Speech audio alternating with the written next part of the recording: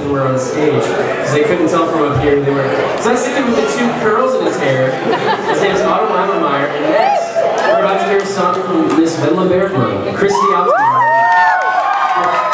The Marcus guitar and Christy on ukulele.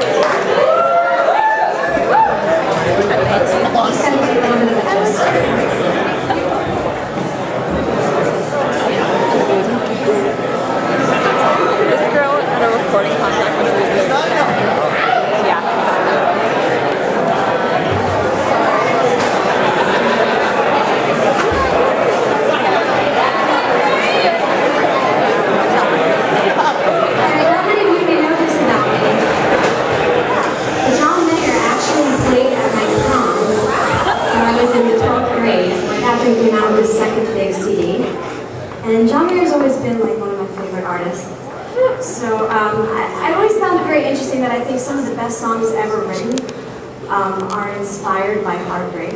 And this is one of my absolute favorite John Mayer songs. So here it goes. One more song.